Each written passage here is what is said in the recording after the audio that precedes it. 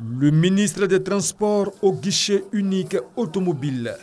Amadou Kone est venu s'imprégner du fonctionnement des différents services. On se rend compte malheureusement qu'il y a encore beaucoup de véhicules euh, qui sont stationnés. Il y a beaucoup de véhicules d'occasion, euh, énormément de véhicules euh, d'âge très avancé. Je voulais aussi donc, me rendre compte de ce qui est fait donc, au niveau du contrôle technique et voir ah, donc, au niveau du gouvernement à qui je rendrai compte quelles sont les dispositions que nous devons prendre.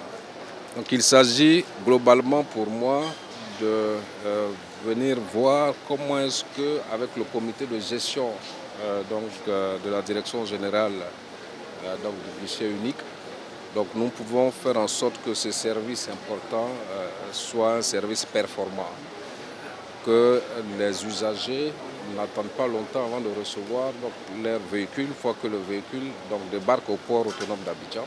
Cette visite du ministre des Transports est un signe du renforcement de la confiance entre la tutelle et les agents.